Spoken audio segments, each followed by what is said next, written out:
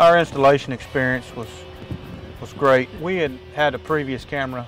We had a lot of issues with it. Our decision to go with a WatchGuard camera was based on several months of testing with uh, several different camera systems.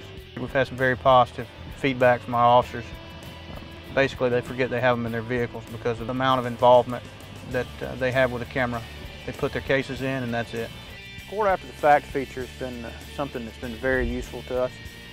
We've had several instances where the officer's camera was not actually recording, but later uh, it was found that their camera could have possibly contained information that would have been helpful. Uh, we had an officer traveling uh, down a roadway during some severe weather. A lightning strike hit a transformer directly in front of his vehicle, causing some damage to the pole and to an adjacent building. All of that incident was caught on video. Was able to use the record after the fact feature to uh, go back and pull that up. Due to the quality of video and the quality of the user experience, we decided to go with the WatchGuard video system.